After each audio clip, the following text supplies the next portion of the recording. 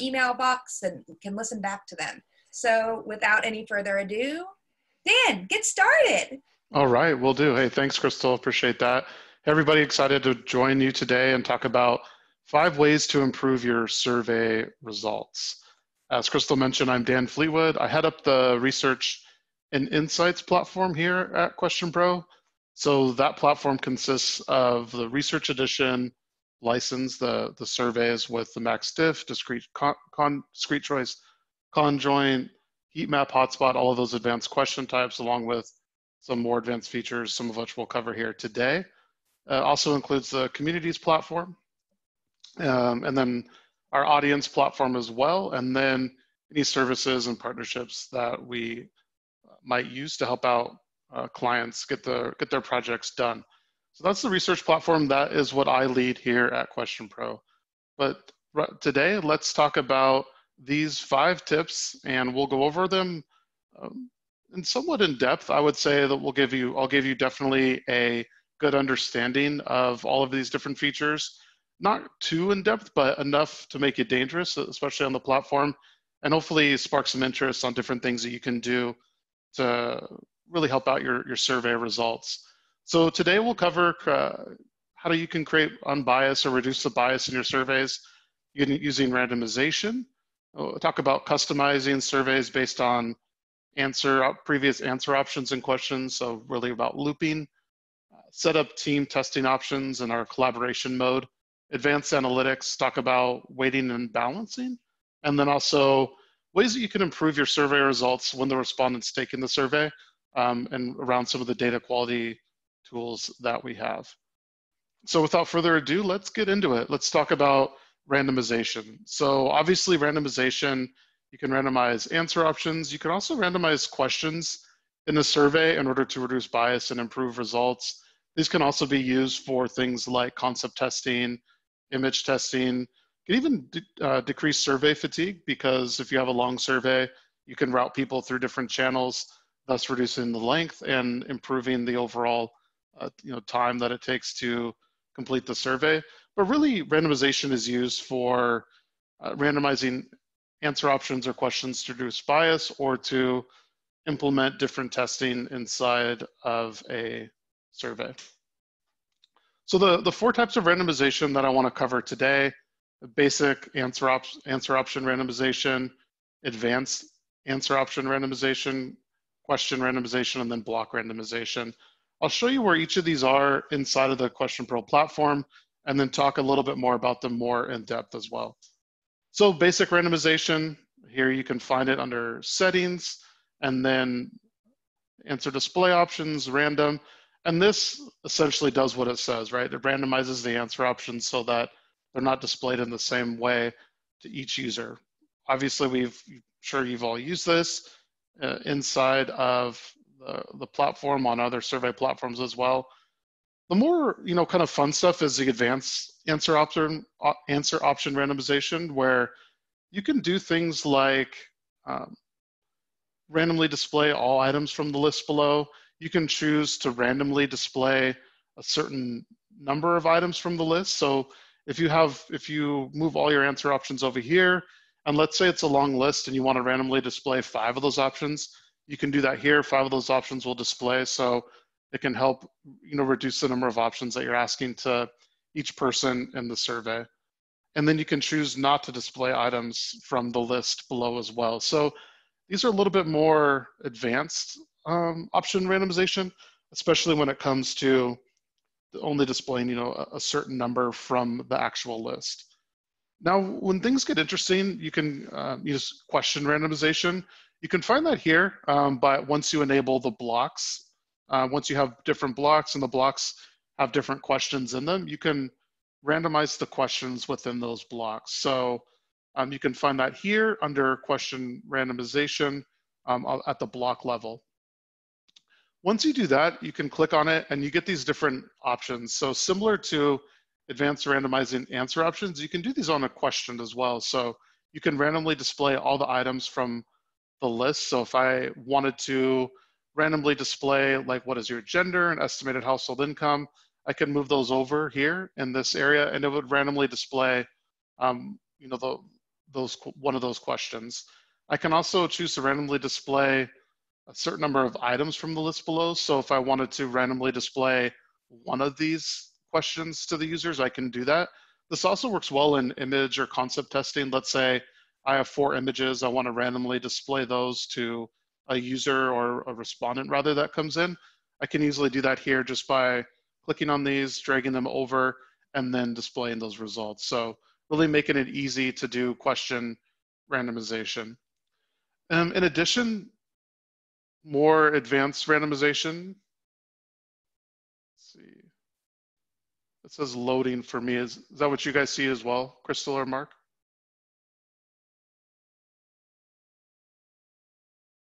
Let's see here. Let me get here. I'll try this. Okay. Let's try this again. Oh, sorry, I was muted. Um, I saw it when you exited out. Yeah, it says loading here. Um, here, oh. I'll just, I'll go with, I'll go with this view. I'm not sure why, but um, hopefully you guys can see that. Okay. Yep, I can see that view. You're good. Okay. Maybe it's just that one slide. Okay, we'll just move past that slide. All right. um, so block randomization. Essentially, you you go into there's a tools. I was just going to show you how to get here. There's a tools menu item. You click the tools, and then there's block randomization or block randomizer and you can get that go so you can get that uh, block randomization by going there so essentially what this allows you to do is randomize blocks of questions so there's you can drag or drop the different blocks inside of the ra randomizer and then choose to randomly display those different blocks of questions so again could reduce bias you could also do this to um, implement different types of uh, concept or, or different types of tests inside of your survey really make it smarter overall with some of these advanced block randomizations and, um, and logic options here. So really making it easy, you can choose to randomly display these items. You can also add quotas to it. So if you wanted to, you know, make sure that you have an even distribution, you can do that as well. So these are all different randomization options uh, inside of the, the Question Pro Research platform. So looping, let's move on to um, looping and cover this. So I'm sure we've all either used looping, heard of it, maybe we've seen it as we've been, you know, clicked around or created surveys inside of the Question Pro platform. So really it's when a set of questions is asked multiple times for different answer options that were selected in a previous question. So you might have a multi-select question and then based on those answer options that the respondent selected, you want to then ask some follow-up questions. So at a very basic level, we can go over this example. You know, please select all of the following pizza restaurants that you have ordered from in the last six months. So there's Pizza Hut, Domino's, Papa John's, US Pizza. And then the follow up question is how would you rate pizza from um, the restaurant? And this can be for based on the what the respondent selected, right? So if they selected, let's say Pizza Hut and Domino's, it would rotate this question through for both those answer options. If you have more questions, like not only how would you rate the pizza, maybe you also have how would you relate the delivery how would you rate the delivery experience or the ordering experience you can have any number of questions and it'll loop through for each of the answer options selected here so how can you enable looping inside of question pro so you've probably seen it under logic here and then the next step is going to skip logic and then enabling this looping option here and then if you, you can have it jump or select it so it jumps to the, the follow-up question that you want to ask. Just the first one is fine. And then input the piping text and then save your logic and then you're good to go there. So making it really easy for you to enable looping inside of your survey and really add, add this piece to reduce survey length and also reduce programming time, honestly. You don't have to add a bunch of questions with show hide answer options and things like that. So it could really reduce the amount of time that you're spending in programming surveys. So looping, well, simple to implement and, and it's really a powerful tool that you can use, one to help out with overall survey flow and also to reduce programming time as well. So I want to talk a little bit about collaboration mode. So oh, wait, do you want to oh, answer a looping question? Sure, I can answer a looping question. Can you use skip logic within looping? Can you use skip logic within looping? So you can, what you can do is you can base a loop off later on in, in a survey. So it doesn't have to be directly the next question. We've enabled it so you can essentially do delayed looping now. So that's something that you can do. Um, skip logic within a loop, I think it would depend on the exact use case. So I'd be happy to follow up with whoever asked that question and get a specific use case um, after the, the webinar today. But um, essentially, there's different options that you can do with looping to you know, make the survey smart with, with logic and so forth. So kind of depends on the exact use case, but I, I can definitely get back with the person that asked the question. Okay, awesome. On Perfect. to collaboration. All right. Um, and then, so collaboration.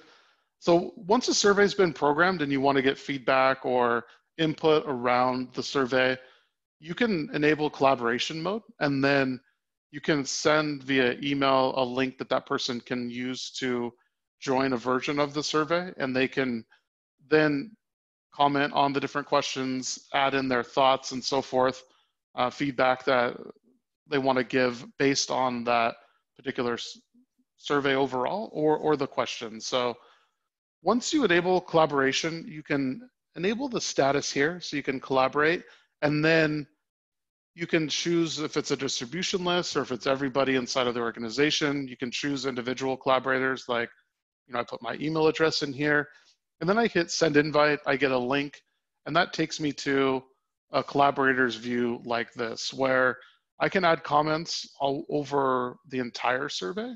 So, you know, love the survey, just make the changes and we'll be good. You can see the timestamp of when it was added, who added it. You can also do this on a question level as well. So you can suggest changes. You can also add comments, much like when you're using, you know, different collaboration features inside of other, you know, like Google Docs or, or, or Microsoft Word or whatever it might be. You can add these comments in, and then people can go and then review those comments and choose to either enable them or you know approve those those uh, those comments or whatever they might want to do. But you can see that you get a log of each one here. So really helps enable um, I think work to get done, especially now. Obviously, when more and more people are still working remotely and maybe you, you can't go to that person and have them you know pull them over and have them review the survey some of that getting that feedback and insight might be a little bit more challenging but with the collaboration view, I've, we hope to overcome some of that and being able to provide feedback no matter you know where you are or also outside of your organization too. So maybe you want to share it with external partners or clients, you can share that link and get their feedback that way as well.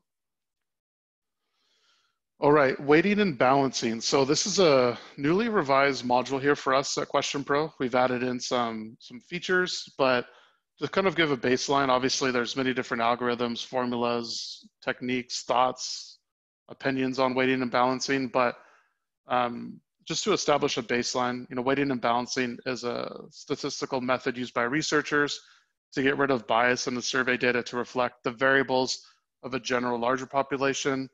So it permits you to change the weights of variable fields um, and avoid sample bias. So if you're not familiar with weighting, really let's say you are a men's clothing company and you know that like 80% of your of your customers are male yet when you get the survey results back it's more of a 50-50 gender split and you want to weight the data accordingly to to account for that to make sure that the data that you're analyzing reflects your your target market so really it's loading again here i'll just x out of this so to find to find uh, the to find weighting, you can go to Analytics, Manage Data, and select Weighting. You can go to add once you add your question in here. Here, I'll try to present again and see.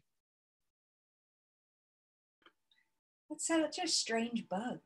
Yeah, it's not loading for some reason. Anyway, okay. It's just might be a little hard for people to see this, but I'm not sure. Can you go to full view and do full screen, maybe? Yeah. Let's see. It's weird because it was working. Anyway, so you can do a you can do a balance weight. So you, a balance weight is off of a variable. So rather than in proportion, it might be a little bit hard for you guys to see. I apologize for that, but you can base it off of a percentage, or you can base it off of actual variable weight, right? So two different ways that you can get the, the weighted data uh, or the weight the weights inside of Question Pro. You can select the question and then either add it based on percentage or you can add it based on a weighted variable. And that's what's new is previously you could only do it on percentage, but now you can do it on the weighted variable. And you can also uh, base it off of multiple variables as well. So if you want, let me try this one more time here. Okay. Um, you can base it off of um, gender and income here. So you can base it off of two or more questions and then weight the data appropriately there. And then finally, another thing that you can do is you can import weights. So let's say you're working with your data externally and you want to, you know what weights you want to use. You can import those weights without having to go in here and add your questions in. So the ability to import weights is, is a new feature as well, but you know, weighting the data will help help you help the data overall so it reflects the the target market that you're you're going after if that's something that you want to do. But definitely the the weighting with having the variable and being able to import the weights is something that is is pretty new here at Question Pro, and it's, a, it's an important feature that we got actually a lot of requests for. So if you're familiar with weighting or you want to try it out, I would encourage you to to go to you know do it to try it out on on a data set and see how it works for you. But it's definitely um, a good feature to use to ensure that you have high quality survey results. All right, let's try this presentation mode here one more time, I think. Um, so I want to talk about a little about data quality. So we have built-in data quality tools inside of Question Pro that you may not have seen, or maybe you've seen, but we're, we're curious of how they actually worked and in all practicalities. So really they can be used to flag responses based on settings that are enabled like gibberish open ends, straight liners, speeders, etc. And we'll talk about all of them in, in detail in just a minute here. But it's one of the, I think it's one of the most effective ways to ensure high quality data, right? To make sure that some safeguards or guardrails up on the other end to make sure that the person that is taking the survey is you know held accountable for some of these things that they might do. And you know when you get this data back obviously it's not usable for you. So you need to ensure that you're able to, to catch these people as you're doing it especially because you know quotas and other things might depend on this. So you can in, inside of question pro we flag these these different answer options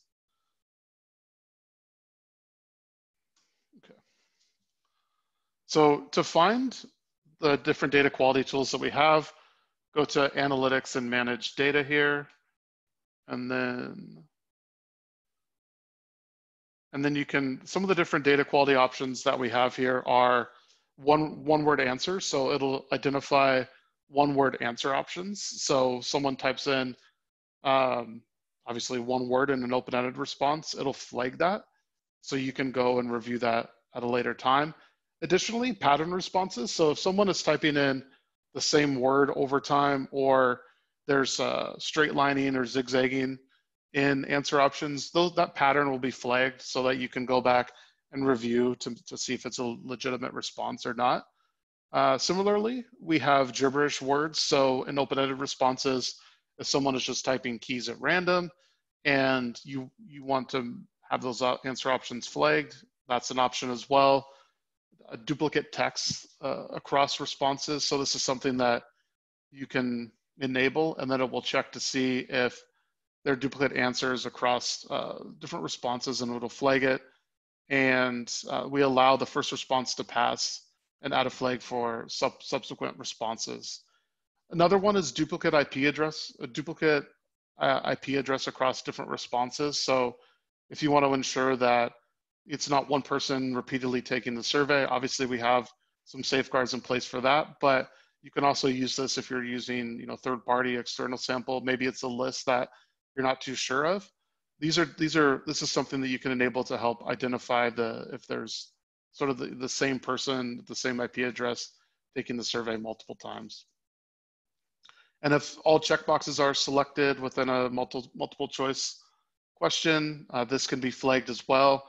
And then speed traps. So if, if someone is completing the survey uh, at a faster average uh, or faster than average, then this can be flagged as well. So inside of the platform, this is essentially what it looks like is we add a flag to the actual response, and then you can click to review the response as well. So here you can see that uh, the question, what do you like about pizza? This is the value that was inputted. Obviously a bunch of, you know, gibberish, uh, gibberish word was typed in. So that gives the reason for the flagging gibberish word. So then you can come in here and check if you want to delete the response, throw it out, uh, or if you can unflag it if, if you review it and know it, it turns out it is a legitimate answer. Obviously this one wouldn't be, but if it's a straight liner or speeder or something like that, and you want to unflag the response, you can, you can do that here as well. All right, let me present here. And then I have a few bonus tips that I wanted to go over. These are more practical in nature, not necessarily related to something special that Question Pro does, but always things that you want to you want to keep in mind when you are when you are conducting a survey, setting it up, etc. So clearly define you know who you want taking the survey. I think this can often go missed, especially in a lot of the surveys that I see where people send the survey out, they get all their answer, you know, they get all the answers collected, and at the end, it turns out that they didn't actually recruit the, the correct people to participate in the survey. And this is where I think screening to make sure you have the right audience is definitely paramount. And make sure you have the right people completing the survey that you want, rather than later on ending up and realizing that, oh no, wait, I actually didn't, I didn't collect the, the answers from the right respondents and I didn't get those right survey results.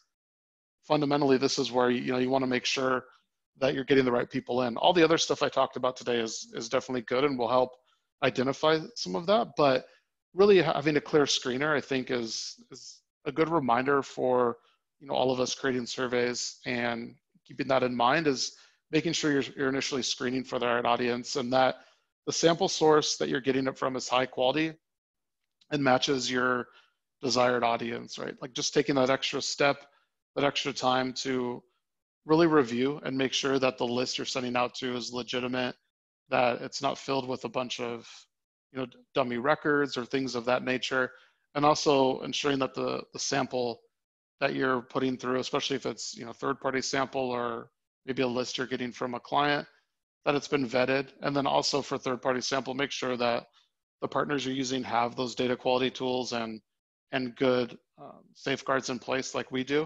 I know for all of our audience projects, you know, there's there's a ton of checks that we do to to make sure that our clients are getting high quality data, whether that is through the, the self-service function that we have under audience inside of the platform that you've probably seen in a dropdown, or it's, you know, if, if we're, um, th that's not the self-service and it's more of a managed service, you know, that's something that we do as well. But I think, you know, clearly defining who you want taking the survey, making sure you're correctly screening for them, and then ensuring their sample sources is of high quality as you can get are some definite uh, bonus tips that I wanted just to bring up to, to you today and just to remind you of that. So I know there were a few, or there was a question asked um, around looping. I think there's a few more questions coming in. Yeah, so, ready? Yeah, I'm, I'm ready to go. um, let's, do you want to start at the top and go work our way down? Sure, sure. Okay. Can collaboration be done after the survey is live and active? It, you can't, you need to do it before. Otherwise, you'll change the status from active to collaboration. So you want to def, you want to do it before it's a live survey. Okay, cool. How do you get to the collaborator's view? So the collaborator's view, you can get there, what you'll get sent a link and then, or you can base it off of the the survey itself. Actually, let me just try something here. I'll just go into it. So here you can. Oh, sorry. What's that?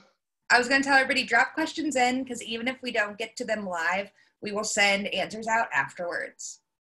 Perfect. So what you can get to the collaborative view here. So you can search or you can edit the status, go to collaborate, and then once you're inside of a survey here, let, let's say if I turn this one to collaborate, I can invite collaborators to view it or to send it to them. I send the invite. They get a link to the survey. And then essentially it's it's just this particular link here. Oops, not that one. Uh, let's see. It's this link here.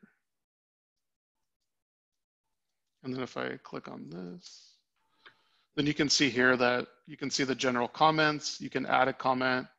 Um, you can invite other people as well to send, maybe you want to send that specific comment to an email address. And here's where you can give specific feedback for the comments, different email addresses that you want to uh, highlight or you know to kind of tag that person on. You can also suggest changes to the question type as well and, and update that. So a number number of different things that you can do inside of the, the collaboration mode. Great. Do, do, do. Let's keep going. Um, oh, this one's kind of long from Dan. Oh, he has the same name as you. Um, are you are you able to edit the survey questions directly from the CAB collaborators review? Or you can you, you can suggest the edits, and then you can go in and then uh, essentially approve those. Okay, that's great. Um, how are the answers to the survey logged in collaboration mode? So the answers are still logged uh, as normal, and then you can view it as a test response. But what you really get is, um, you know, those particular comments here. You can see the log here, and then you can go and approve these. If you're the admin, you can do that, and then you can see, you can still see the responses as you normally would uh, when when testing or when looking at those responses. Cool. Um, okay. So now we have some weighting questions. Mm-hmm. Does weighting get exported into the SPSS? Oh, I see that from Ben. Yeah. So Ben, this is actually, uh, I guess, phase two of the weighting and balancing is exporting into SPSS, and I believe it's slated to come out in June or July. I can follow up with you on that for sure. But uh, step one was getting the updated weighting in, and then I know phase two was exporting to SPSS what are some pros and cons of weighting? Yeah, so there's there's different schools of thought on this, and I won't go too much into it, but don't get too uh, critical. yeah. So um, there's definitely people that say you should weight your data, that you shouldn't weight your data. There's people that say you should only um, weight up your data or not weight it down, or maybe vice versa. So there's there's definitely different schools of thought in that how much you alter with the the data set, how many completes do you have? Do you have a large sample that it makes sense? I think if you have a small sample size, sometimes it can bias the, the data and it's not really a true reflection. So the weighting that you do, uh, you know, won't make a, a lot of sense and, and could really skew the results. So some different different schools of thought on weighting data, but I think it largely depends on on your comfortability with it and then um, the, the, data set that you're actually dealing with. Good to know. Um, for data quality options, is it set up per survey created? Yes, correct. Great. Answered your own question. uh, what's this next one? Would it delete just the question response or the entire respondent's question? This is when you were talking about data quality. Yeah, so it would, you can, so if you choose to unflag, uh, let me just see if I can find the example I was working on earlier. All right, here. So this data quality if I go under analytics and then responses here, so I can see, you can see that this response ID is flagged. And this is the one that I showed you earlier as an example, but um, what do you like about pizza? It's flagged as this value. So I can unflag this response and then it's unflagged, so it does nothing there. If, let's say this response was flagged and you wanted to delete it, you could delete it there, or you could, you could also go and, you know, bring this up and then edit the response if you needed just to fix something. Maybe it was look like some gibberish words, but you could make it out. Um, you, know, you could fix it there. So it would it would you can delete the whole the whole question um, or the whole response. Um, that's essentially what you would do. Here we go. Some is there a way of flagging to the participant themselves why they're filling in the open-ended text box that their answer is not acceptable? So there are some validation options that you can do um, in terms of if it doesn't meet a minimum length requirement or um, there's a few others, but in terms of like the exact, the, it doesn't necessarily 100% match some of the different data quality options that we have here, but there are some safeguards that you can put in place via validation and checking there. Good to know. Um, can I place a quota weights and not kick people out of the survey, but have their survey responses flagged? You can. Yeah, you can do that. Great. Um, do, do, do. What's some more? Hold on. Is reducing bias the only reason to use randomization? I think um, it depends. You know, some of the different the question randomization and block randomization, th those wouldn't be so much for reducing bias, although though it could be. That would be more for uh, using it for different study types, like different image. The main, so some of the main use cases that I see for the question randomization and block randomization are for image testing, or I have these five questions, or I have these five um, maybe different series of questions, and I want to randomly display one set to a respondent. Um, and so it's really those that would be more for different study types or or methodologies. I think really when it comes at just at a question level and randomizing, the main reason that I'm familiar with is just to reduce reduce bias. But there may be others that out there and other people have different schools of thought, but that's the main reason that I see it, especially when um, you're randomizing answer options in a particular question. Gotcha. Cool. Can collaboration be used for live survey scripting?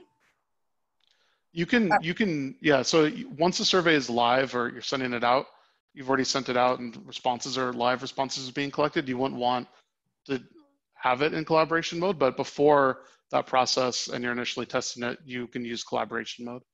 Great. Cool. Um, what else do we got?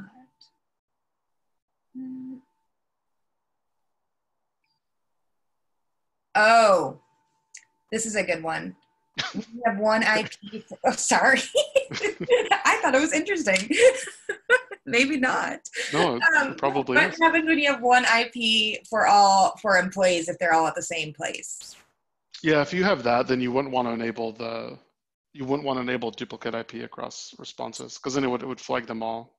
Okay, gotcha. Cool. Um, oh,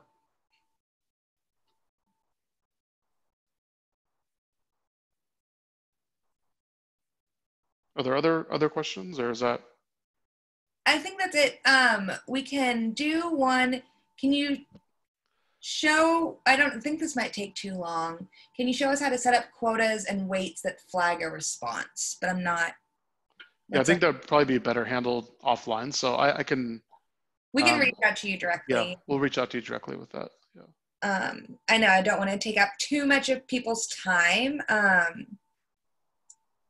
that's i think those are some good q and a's though. Yeah no that was really good. Um, if you have any other questions after this feel free to reach out to me. Uh, and, and, we will be sending out yeah we'll be putting all the questions and answers together and then sending them out with the video and the transcripts. Oh can you talk a little bit more about the speeder section of data quality? Yeah so the the speeder section here kind of it looks at the average survey time and then it looks at the average time to complete the survey and then you can you can set the time that you want to flag. If it's a um, seconds minutes hopefully it's not hours that would be a long survey but um, naturally it's there because there are those times. So you can set it uh, the average time to complete it or you can base it off of um, use real-time average. So it'll it'll calculate, obviously it looks at the average time, and then you can pick a, a, deviation allowed from that average. So if it's, you know, 30 seconds, two minutes, whatever that might be, then um, you can add that, that deviation and then it will flag responses accordingly there.